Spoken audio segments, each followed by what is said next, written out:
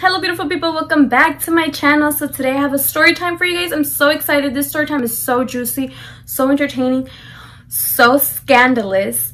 This story is crazy. I don't know if you guys are ready. Get your popcorn get your snacks get your turn up get your blunts get anything you got to entertain yourself to listen to this story because it is going to be a good one.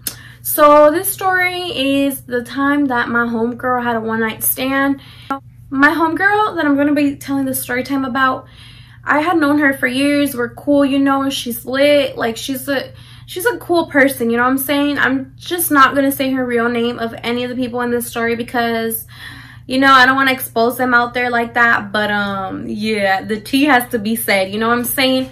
So basically this happened when I was 16 years old. I remember I was in the restroom talking with her on the phone. I'm like, Berenice, girl, we need to turn up. Like, it's the weekend. It was a Saturday. If you know me, my favorite day of the week is Saturday. So I was curling my hair. I was like, I need to look cute. I need to look good because we are going to do something. We're not going to stay home and be bored like oh, always. So we're going to go out. You know what I'm saying? So my homegirl's like, I'm on the way, you know, and I'm like, cool, cool, cool. I'm almost ready. She's like, yeah, I'm on the way, you know, I'm already ready and stuff like that. And I'm like, cool. She gets to my house and I'm like, why is your hair looking like that? But she's like, can you do my hair for me? So I curl her hair and then we decide to walk to the store and get some snacks because it's still early, you know, and like people turn up like in the afternoon and night, you know what I'm saying? So we walk to the store, we get some snacks, we walk back, we're bored. I'll call my best friend at the time. We're gonna name her Melanie. So we call Melanie and I'm like, hey Melanie, what's up? I'm with Berenice. And she's like, oh shoot, there's a quince. Y'all trying to go or what?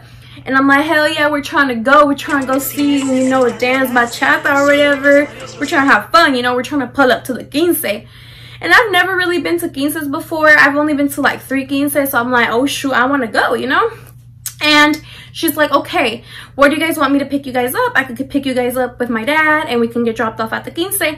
I've always been super, super duper paranoid about where I live. I don't like letting people know where I live because one day they're your friends and the next day they are not your friends. But the reason Berenice knew where I lived was because she was my friend for a long, long time. And also because, you know, we had a really good friendship. So she did sleep over sometimes. Anyways, we get picked up at a park by my house. We get dropped off by her dad at the quince. He's like, bye, I'll pick you guys up at this time or something. Just call me. And I was like, cool, cool, cool we see that the quince is super dry, looks whack, it looks boring. I'm like, oh my gosh, is un velorio or what? Like, what's going on? Where's the turnip? And she's like, girl, like, honestly, I was using it as an excuse. I wanted my dad to see that I was going to be hanging out with you guys. But um, I'm going to have my boyfriend pick me up. And I was like, your boyfriend? She's like, yeah, I've been talking to this guy on Facebook. I'm finally going to meet him. He's my bae. And I'm like, oh, shoot, girl. And then he pulls up in this nice ass car, like super nice, like nice, okay? And we were 16, so you know what I'm saying? He gets out the car and he is an older guy, okay? He is probably in his early, early 20s and we're 16. And my homegirl Berenice, she's like, oh hell no, he's old as fuck. And then my homegirl's like, hey, do you guys want to ride to the other quince? Because we were already planning on going to the other quince because this quince was boring. And then my homegirl's like, hell no, I'm not to get in car with him. He looks old as fuck. And then my homegirl, Melanie, was like, les quiero presentar a mi novio. Like, I want to introduce you guys to my boyfriend. And like, Berenice just had a nasty attitude. Like, she didn't want to see him. She didn't want nothing to do with him because he was older than us. And I'm like, oh my God, you're being so extra. It's not that hard. And I said, hey, like lo saludé, you know, I said hi, like having manners, you know? And they left. So me and my homegirl, because she was being a brat and didn't want like to get a ride with them, which I don't know why, we're just gonna get dropped off. It's not like we were gonna be hanging out with him or anything or with her. We're just gonna get dropped off. So we walk and it was sprinkling. So my hair goes from curly to wavy.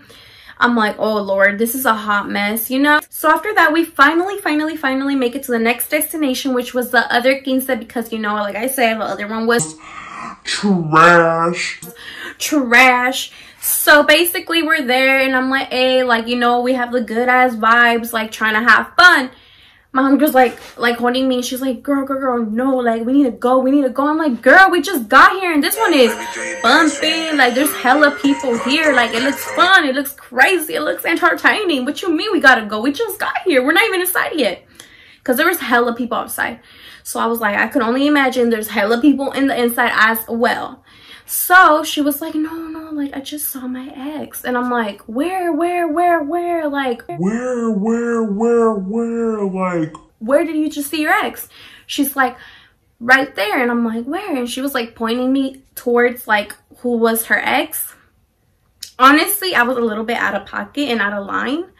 But you know what? Like she kept dragging it. She's like, no, we need to go. Like she had like her vibe just went from here to the ground because she saw him. And she's like this is my ex you know da, da, da, da, and i'm like okay like you know what? I'm gonna go up to him and talk to him. And i go up to him I'm like hey so and he's like hi. And i'm like so are you my homegirl's ex? And he's like who's your homegirl? And i'm like and he's like no i don't know her literally like he was acting brand new and i knew that he didn't know her because i see messages between them on her phone. So she wasn't lying but he just wanted to act brand new. He didn't want nothing to do with her. He's like next girl bye. And i'm like girl he not worried about you. Why you worried about him? Like don't pay him no mind like for real for real. But like honestly i would have been mad hurt if that would have happened to me. But you know like he walked right past her. Like he did not acknowledge her for nothing. So that was strike number two i guess because i don't know for her that was like strike number two. Like sh that shit that shit killed her night. You know what i'm saying? And like we just stayed there for a little bit after. I ended up seeing this guy that i was cool with and he's like hey what's up? And i'm like hi blah blah blah. You met short in person whatever we walked back to my crib you know on the way there there's a store and it's a corner store you know so we are there passing by and i see two guys walking out with a ton of turn up mics coronas modelos all of that and i'm like shoo give me one and he's like, yeah, here, shorty. And my hunger keeps walking in front of me. I'm like, girl, hold up, get one. And yeah, they're like, here, get one. And she's like, no, I don't want nothing. Like, they're ugly. I'm like, still with your nasty stink attitude. Like, what's up with you? Why you being so uptight, so angry, so mad at life for? Oh my God, loosen up, girl. Anyways, we start walking. She's using my phone because she's like, I'm messaging somebody like we could hang out with. And I'm like, cool. So after that, we're walking and then she's like, okay, I have somebody we're going to hang out with. His name is Travis. So I'm like, cool, we're going to hang out with Travis. So then she starts telling me that hanging out with Travis isn't going to be like just hanging out, like cruising around. It's going to be like at a house party. I'm like, I'm not interested. I don't trust house parties. I never did. I never will. I'm good. So I was like, I'm not going to go. Are you sure you still want to go? And she's like, yes, I still want to go. And I'm like, okay, I'm going to be waiting for you. I'm not going to go to sleep so I can open the door from my house and you can come in and fall asleep. You know what I'm saying? She's like, cool, cool, cool. So after that, we are walking halfway towards the park and we finally see Travis pull up. He has a really nice car. Oh my God, all the guys in this freaking story have nice cars y'all got your shit together, sort of. So he pulls up in a nice car and she's about to hop in. He's like, wait, wait, wait, girl, no, you're not hopping in my car. My car's already full. And somebody puts all the windows down and there's a girl in the front seat and three in the back. And I'm like, oh, shoot, like, you got hella shorties. And I noticed some of the girls that he had in the car were girls that got picked up from the freaking quince that we just left. And I'm like, sure, you're just heading up all the girls trying to take them down north. Cool by the way, down north is where the party's at. And I'm like, I'm not going. I'm not going. After that, another guy pulls up. His car was kind of ghetto, but like, that's fine. You know, like, he was probably coming up in life. He had a ghetto car for now. So he pulls up and he puts his window down. I'm like, oh, shoot. This is my guy that I had my first kiss with, my crush from when I was like 13. I'm like, oh, shoot. You know what I'm saying? She hops in right away before even noticing who the guy was. I'm like, girl, like you were like a hot pocket, hot and ready, like Little Caesars Pizza. Slow your roll, honey. You was all uptight all night, but now when you see some cute guys, cute, because they were all right, you want to act all crazy now. You want to act all friendly. And then I'm like, starting to kind of walk away. And he's like, girl, why you acting all uptight? You know you want to come, hop in. Stop trying to have us beg you. And I'm like, I don't want you to beg me. I'm not going. I'm literally not going. I'm walking home. And I started walking home. So I get home and I'm just on my phone trying to stay up, but my eyes are going lower and lower and lower. Like I'm falling asleep. I'm getting super, super tired. It's like around maybe one in the morning too. And I'm starting to get worried. I'm like, okay, where's she at? I'm messaging her. She's not replying. It's like two something in the morning and I'm like, okay, what's going on? You know what I'm saying? So I messaged the guy that she told me she was going to go with, which was Travis, right? So I'm like, Travis, where's she at? I thought she was with you. Like, are you guys still at the party? Like, what time are you going to bring her? He's like, no, I never ended up going to that party down north. I ended up going to this other thing. I never went, so I didn't go with them. She left with the other guy. Remember? Maurice. I'm like, what do you mean? You're the one that hit her up to hang out and now you're saying that you don't know where she's at. Like, what's going on? He was like, no, I don't know where she's at. You know, she left with Maurice in that other car. I'm like, okay, well, you better figure it out because if she doesn't get to my house by the morning, I'm going to call her parents and I'm going to say that she left with you and I don't know where she at. And he's like, well, she's not with me don't do that that's fucked up you know you saw her leave with that other guy and i'm like i don't care because she was supposed to leave with you so if you don't know where your friend at and you don't know where my friend at then you're gonna have to pay the consequences not me because yo me las manos así porque i'm not going to jail because i don't know. She left with y'all y'all you know what I'm saying? After that, like, he starts panicking and he keeps calling me. Like, he calls me and I'm like, hello. He's like, come on, like, don't do that. Don't be like that. And I'm, like, hanging up on him because I'm like, he's annoying. Like, I'm not going to change my mind. The second time, he's like, come on, let's go look for her. Like, he was really, really scared. And I'm like, calm down. Like, for real, for real. He's like, let's go look for her. I'm like, I'm not going nowhere with you. Like, a esta hora salen los pinches creeps. Like, this is not an hour to be out with you type of dudes. And then the third time that he calls me, I'm like, fuck it. You know, I'm actually worried for my friend. So I'm like, let's go look for her. He's like, okay, where you live at? I'm gonna pick you up. I'm like, uh-uh, sir. Like, I don't know what type of dude you is. I don't want you lurking on me, trying to kill me, trying to do something. You're not gonna know where I live. So I'm like, pick me up at the park. So I'm all here wearing a hoodie and going over there to get picked up by this weirdo so he could help me look for my friend. So first he's like messaging the guy, Maurice. He's like, where's she at? Like, where y'all at? Like, he's actually panicking because I already told him, like, you're to have to respond to her parents and not me, sir. Not me. So he's over here trying to figure out a way to, like, know where they're at. Somebody tells him that they're at McDonald's. We go to McDonald's. They're not there. We go to this house that it was a house party at. They were not there. We end up going to Maurice's house and he's like, okay, go knock. And I'm like, okay. And it was sprinkling, y'all. So I go and he's like, here, before you go, he gives me a little ass umbrella. Like, what the fuck am I to do with this little ass Barbie umbrella? Like, why do you got this little ass umbrella in your car? Like, I'm starting to think he was driving his car to begin with. Anyways, I go out with the little umbrella and I'm over here walking up the stairs and I'm like, the fuck I doing knocking at this Maurice's house? Maybe they're in there doing sexual stuff and I'm over here gonna knock and then the mama's gonna be like, oh hell no, this little ass girl was not supposed to be here and why this other little ass girl looking for her? And no.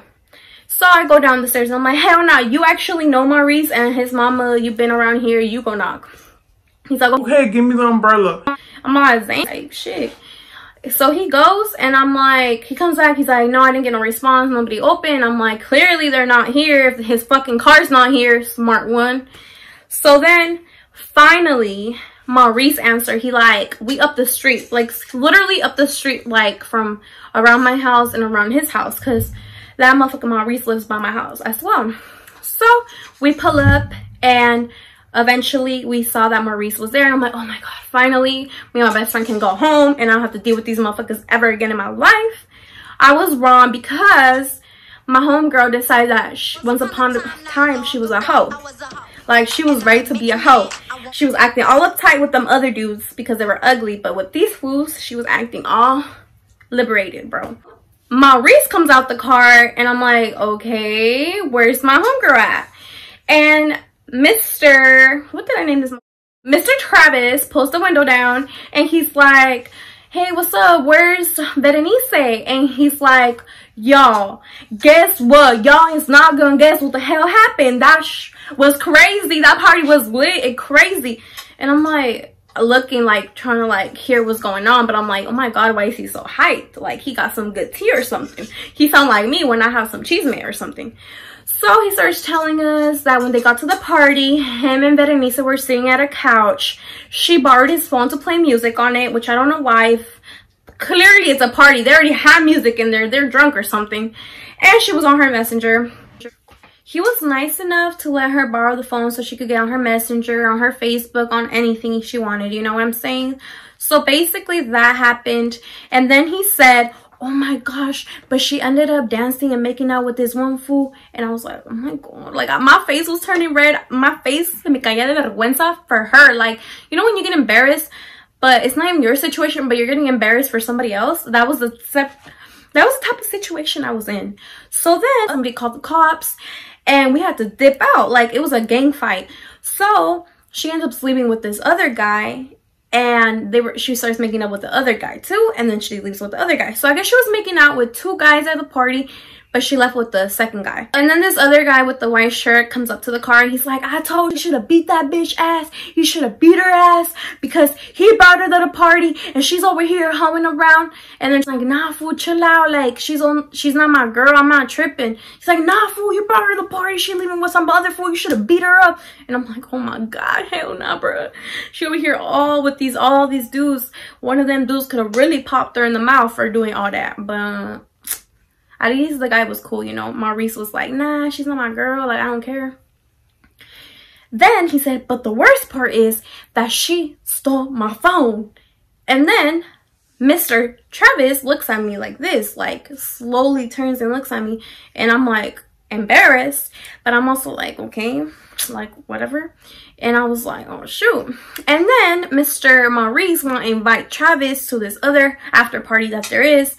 And he's like, y'all want, you want to come? And then he's like, nah, I'm kind of busy right now. And then this, ooh, he had the nerve to try me like that. He looks out over at me, the Maurice guy, and he's like, Oh, yeah, I could tell. Like, no, he about to drop me off home. Like, don't be thinking them dirty thoughts in your mind. Oh. So then I get dropped off home. But before that, he's like, see, your homegirl ended up stealing my homie's phone and you were all worried about her. She got herself. She good. And I'm like, stop. Like, I was low-key not even that worried about her no more. I was kind of like mad because I'm like, that's so embarrassing and trifling. So I walk home. I fall asleep. I couldn't help it. I hear a knock on my window at 4 in the morning. I open. It's her. She smells like regret. She smells like regret, depression, must, alcohol, tobacco, weed. Like, girl, where you been all this time? Uh, and a box of like, ooh, nasty. So like, literally she stunk up my whole room in 2.5 seconds. And I was like, ugh. But she's telling me like, she ended up leaving the party with this really cute guy. They had sex for like an hour. I was like, ugh, like, girl, don't be telling me all them details. She's like, I didn't even know his name. I'm like, girl, you was acting all uptight in the beginning of the day, but your ass went loose. Like you let you went free. But anyways, thank you guys so much for watching. That was all. I know it was a juicy story, but it had to end. Anyways, make sure to like, comment, subscribe, turn your post notifications, and I'll see you guys in my next video. Bye guys.